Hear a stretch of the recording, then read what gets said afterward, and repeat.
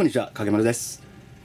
アニマさんっていう聞いたことないメーカーさんのジュースなんですけれども、関西スーパーさんの方で見つけてまいりました、爽やかグレープジュース、ナタデココ入りの動画レポートになります。果汁は15%ということなんですけれども、そういたしましたら、まず原材料名、ご一緒にご覧いただきたいと思います。こちらの方ですね、原材料名、ぶどうに砂糖、ナタデココ、酸味料安定剤香料着色料。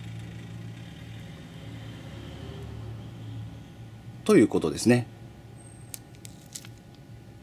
あとはちょっとあの喉に詰まる関係の注意書きですよね、えーこちらの方に記載ございます。それからカロリーの方なんですけれどもおそちらの情報はないですね。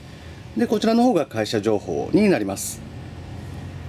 ホームページ www.arima.co.jp ですね。そういたしましたら早速中身の方チェックしてみたいと思います。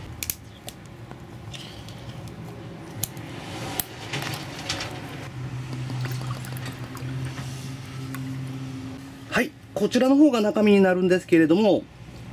結構な量のナタデココですよねがあの入っております。まだあの底の方に結構沈殿してるんで上の方だけでもこれだけの量でしたら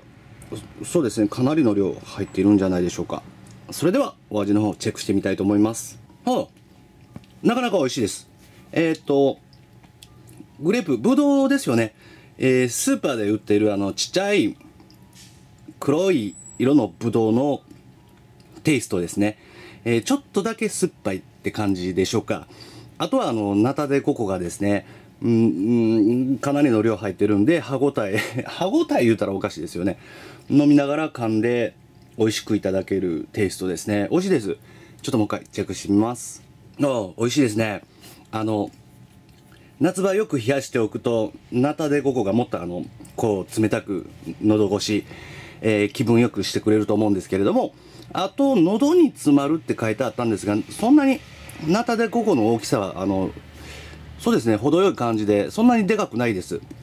えーお子さんの方も安心して飲めるんじゃないでしょうか、えー美味しいです。それでは簡単なんですが失礼させていただきたいと思います。